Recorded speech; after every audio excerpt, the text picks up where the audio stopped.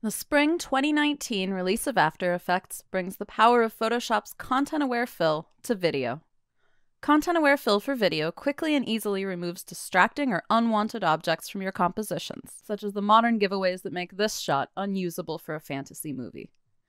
Cut out the portions of your composition you wish to remove, like these tourists, then click Generate Fill Layer. Powered by Adobe Sensei, Content Aware Fill analyzes the content and motion of your composition to determine how to fill in the blanks. You can use any technique to create transparency, including masking, keying, or the rotobrush. It's up to you. Content Aware Fill will take information from throughout your composition and choose the best pixels to fill in these transparent areas. You can also paint individual reference frames to guide the results in a particular direction.